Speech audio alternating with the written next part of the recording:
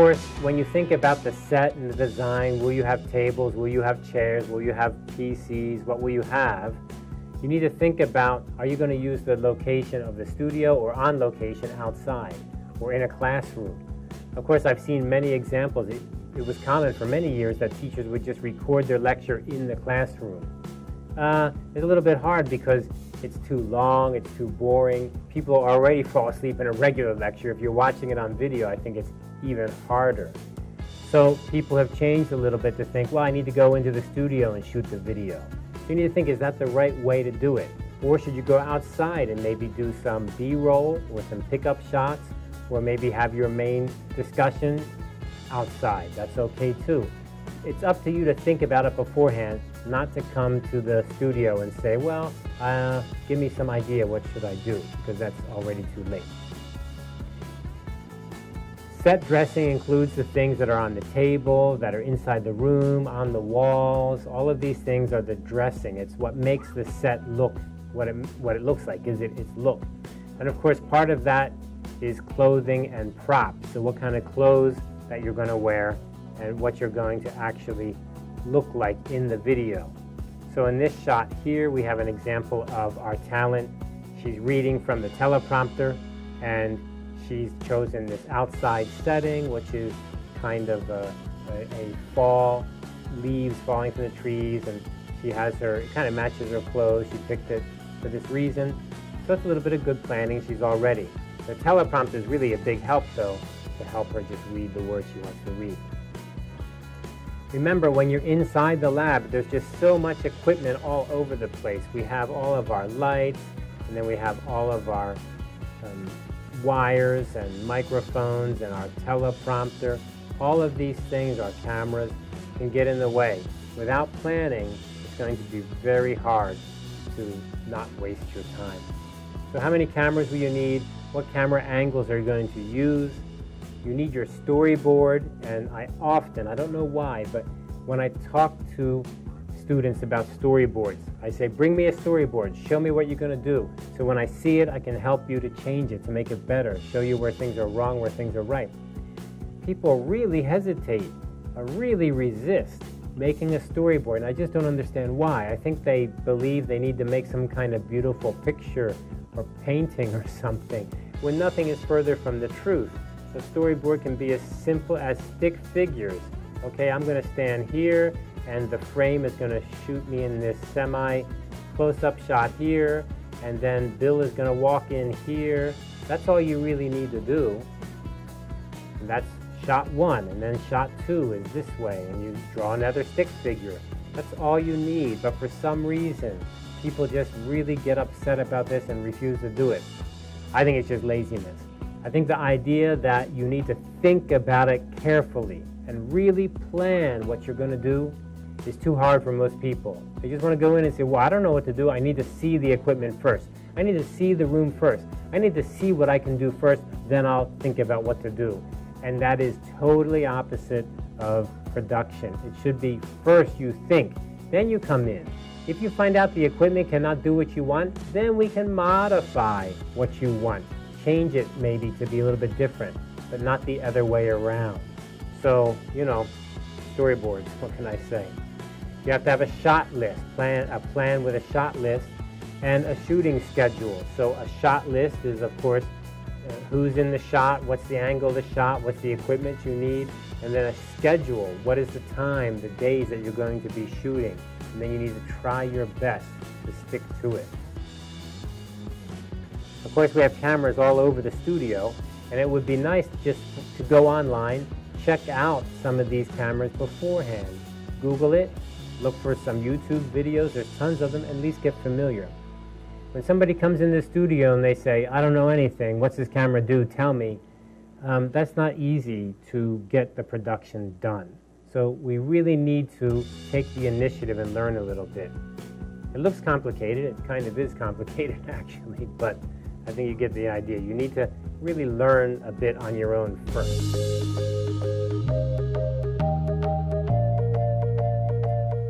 Pressing the shutter speed turns on this section here, which you can see. And Then there's a little wheel here, which is used for all the menu systems on this camera. It's very, it's common in the Sony cameras. They use this wheel. You turn the wheel, and you can adjust that setting now. So I'm going to turn it down. I'm going to turn it up.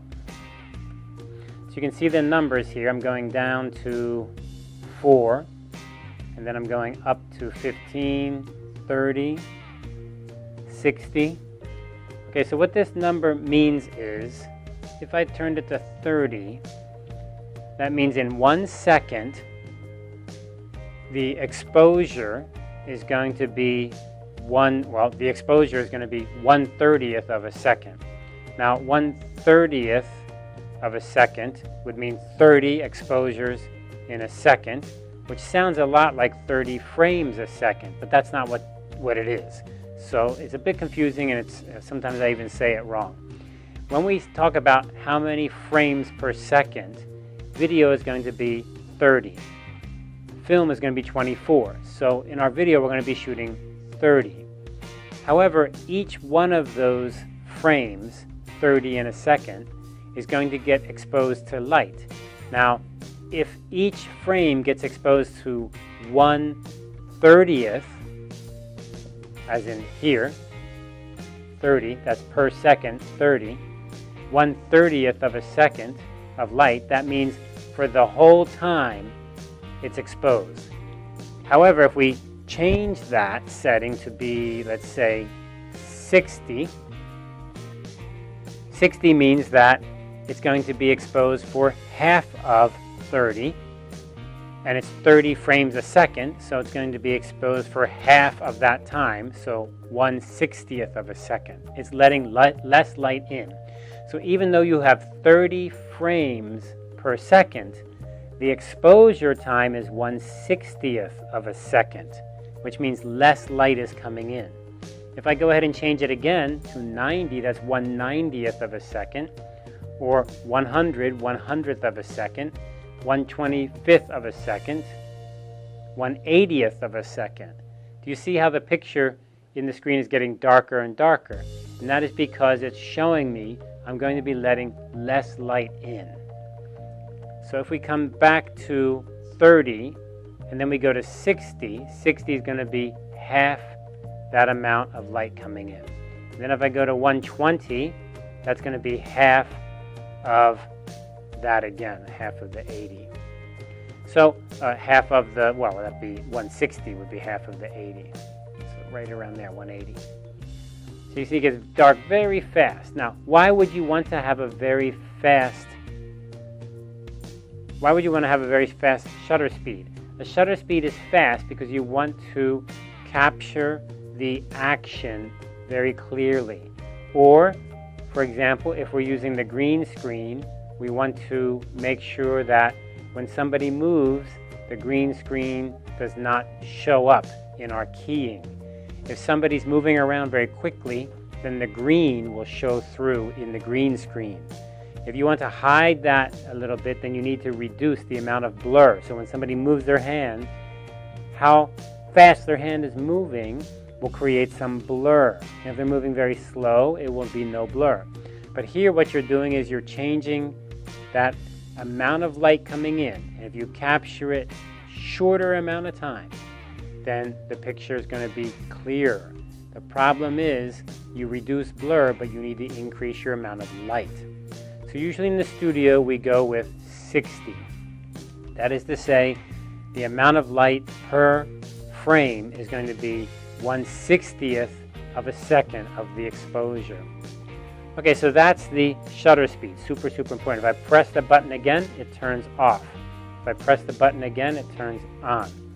And I think it has an auto setting. It looked like it just jumped to auto. Is that going to stay manual or is that auto? You got to check that out. But anyway, you get the idea. Okay, so we've come back to some of the really important things. Of course, the front end here is very important. But then down here we have what I think are the most commonly used settings in the studio. That's going to be the gain, the white balance, and the shutter speed. These are super important. We see the menu wheel here, but then here are the controls for things that are not related directly to using the camera right now. They're related to the menu. So let's go ahead and press the menu button, and what are we going to get? We get our menus here. Press it again, the menus are off. We have a display button, and the display will change what's showing on the screen. So if you want to show more or you want to show less, then you just press the display button for quickly changing that.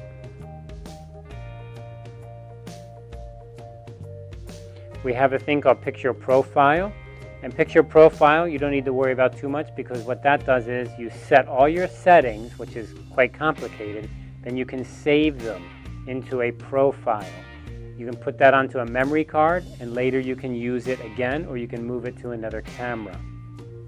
And then the last button here is status checks. If you press that button, it's supposed to give you a very quick look at your most important settings, for example, your audio. But we're not using audio, so we don't have anything happening there. There's no audio coming in, so not a big deal. So we won't be using that very much. So again, we come back to the most important part of the camera in the studio, this front end, and then these settings here. The gain, the white balance, and the shutter speed. Those are super important. Okay, so let's go ahead and look into the menu then. This is the complicated part, and every menu system is going to be different, so keep that in mind.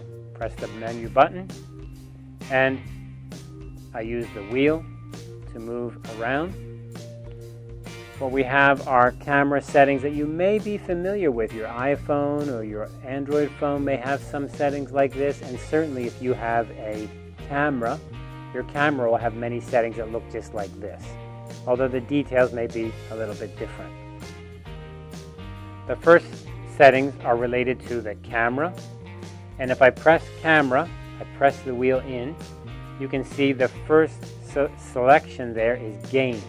If I press that, you can see H, M, L. What is the HML? It's right down here in the bottom of the camera. HML, LMH, right there. So here is where I set what is L and what is M and what is H.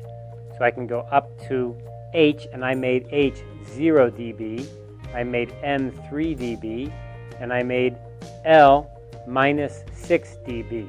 So minus 6, minus 3, and 0. I put it as low as possible. When I go to the 6, I press the button again, and I can go up or I can go down. And look, minus 6 is the lowest. That's as low as I can go. That's what I want, the darkest possible for low.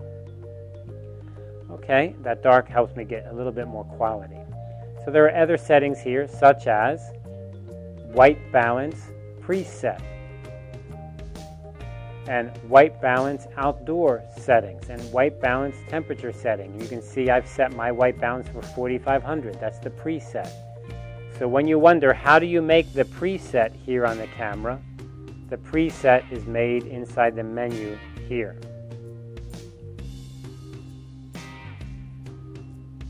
Forty-five hundred. And then you have a few other settings that you can turn on or off. But I think inside the studio, these settings you would not be changing because they're already all set. Now, if you go out into the field, again, for students, we loan you the lower, uh, smaller, lower end camera that's not so difficult to use. The next part is this input, output, and actually this is telling you how you're going to do your recording. And here is where you actually set how many frames a second you're sending out, and the quality that you're sending out, the resolution. Here we can see that it's set for 1080 for 30p, that is 30 frames a second.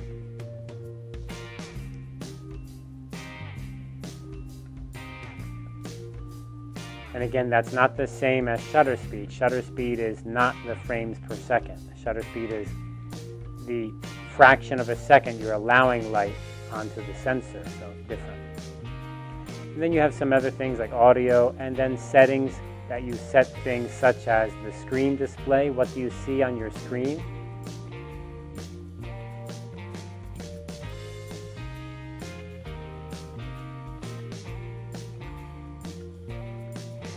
So for example, I can change things like the shutter display. I can change things like the LCD brightness. Again, studio probably would not be changing these things, so best to leave them alone. But good to know about them. We have some details here about something called time code. That's for professional video recording where we want to record some special code. We also have some network settings, which probably in the lab we're not using right now. And then you have some others. And look at these others, for example, you have buttons. So you can actually go into the buttons and you can say, what is button 1? What is button 2? Remember, my button 2 is a color bar. So if I go to color 2, a button 2, and I push that, I'm going to get a color bar. So that's how you set that. You set that with those assign 3, assign 4 inside the menu.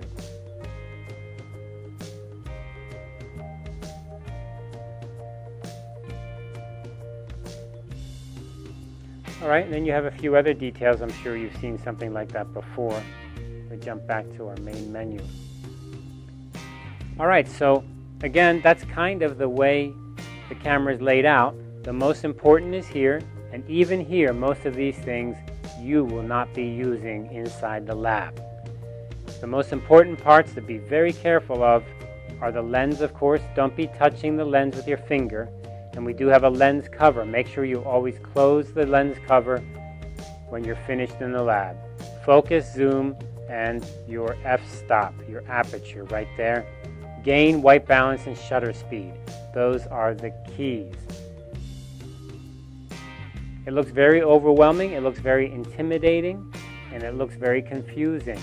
If you don't understand something, go to YouTube. There are many lessons.